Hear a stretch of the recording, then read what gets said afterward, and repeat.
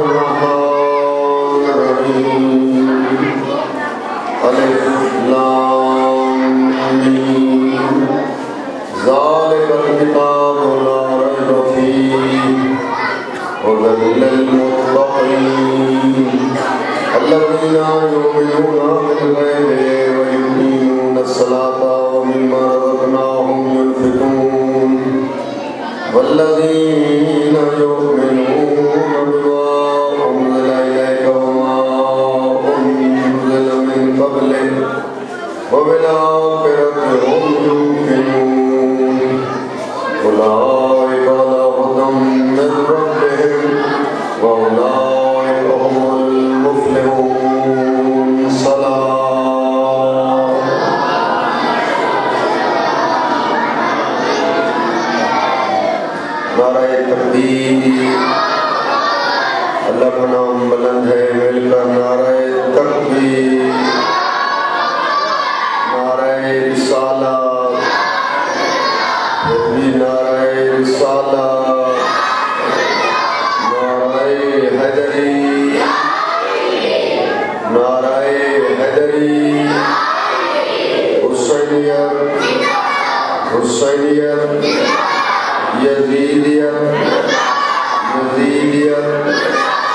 और मोहम्मद वाले मोहम्मद सल्लल्लाहु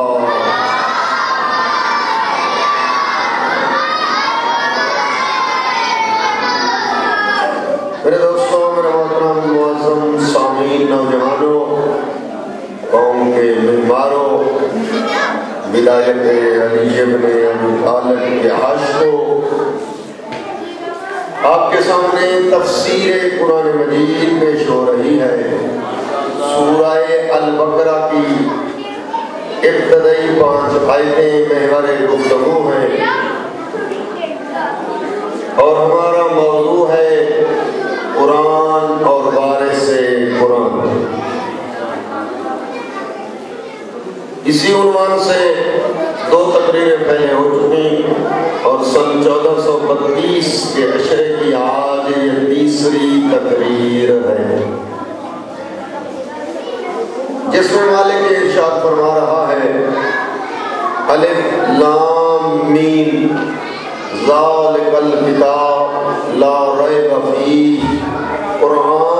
वो किताब है जिसमें शक की कोई गुंजाइश नहीं।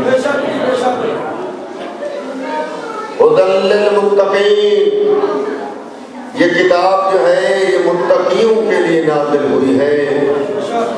यानी पहले मुत्तकी बने, फिर कुरान की हिदायत नसीब होगी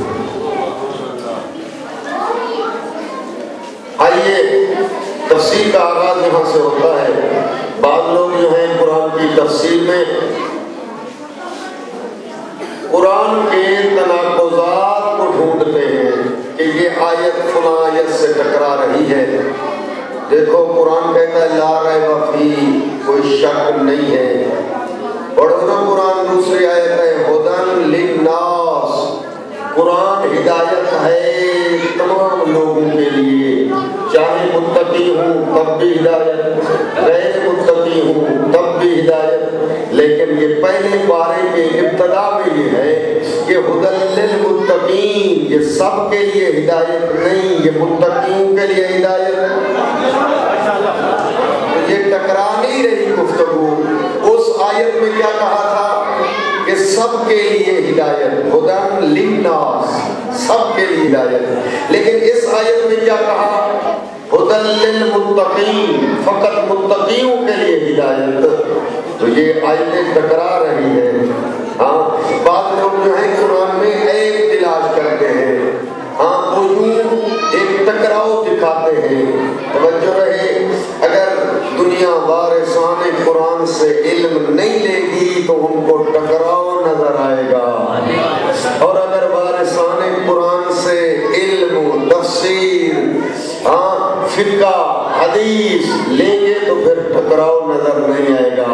जवाब जहन में होना चाहिए, जवाब दे रहा हूँ।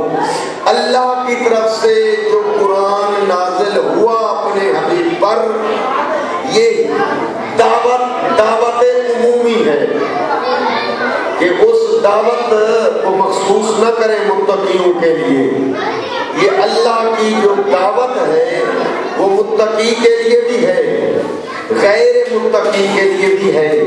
फिर कह रहा हूँ, दावत अल्लाह की मुत्तकी के लिए भी है, गैर मुत्तकी के लिए भी है। लेकिन हिदायत नसीब उसको होगी जो मुत्तकी होगा।